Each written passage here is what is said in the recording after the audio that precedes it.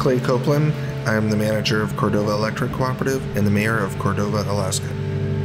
When I got into the energy industry, my goal was to have a very quiet job that I could go to work and then go home and go fishing, hunting, hiking, enjoy Alaska and the outdoors. That was really my career goal. Uh, but then energy got very exciting.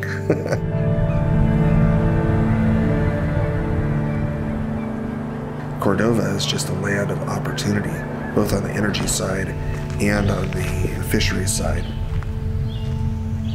I love Cordova because I love the land here and the surroundings, just the scenic beauty of the place. There are very few places, even in Alaska, where it has a little bit of everything.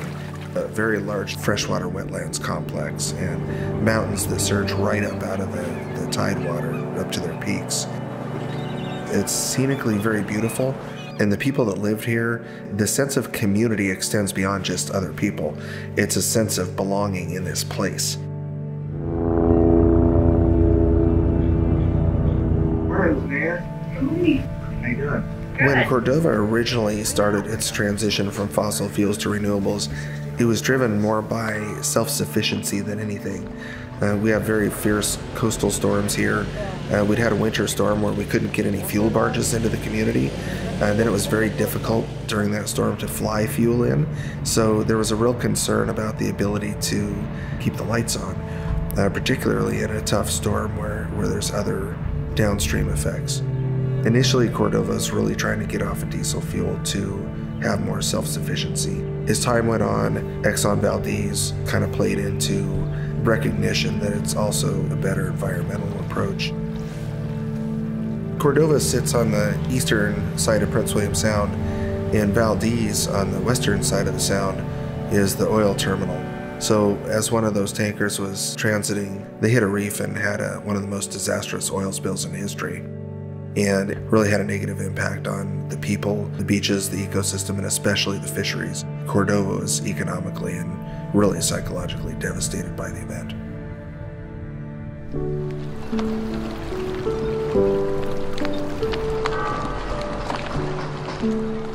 I became involved in renewable energy when I moved to Switzerland more than a decade ago. And that's when I realized the possibilities towards a carbon neutral future.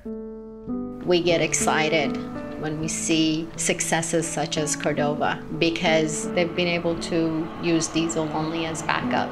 And over time, you know, getting to 100% renewable, that's really the that's the ultimate goal.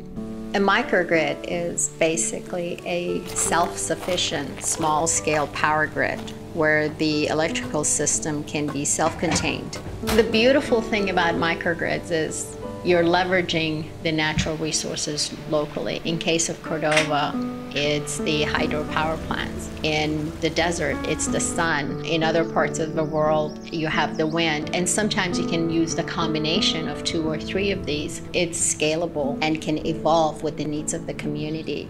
Hey, Clay, good to see you. Good morning, Maxine, at least on my side of the world. How did our microgrid do? All good? It did fantastic. How was the consumption of the um, the diesel? So, and they comment on it. They said, "Hey, uh, we haven't heard the diesels running," and it said, and we call it the golden sound of silence. that sounds great. I'm passionate about sustainability, and ultimately, at the heart of sustainability is ensuring everyone has quality of life.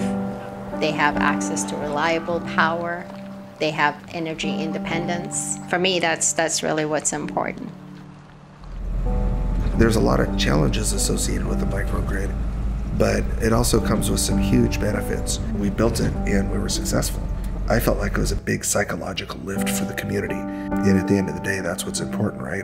How does this impact people's lives? What does all this transition to renewable energy mean for putting food on tables and having cleaner air and water and better health and better quality of life? So, if we can produce electricity locally and responsibly, and we can use it for all of our energy needs, from transportation to heating to all of our electrical appliances and businesses, then that's a big win.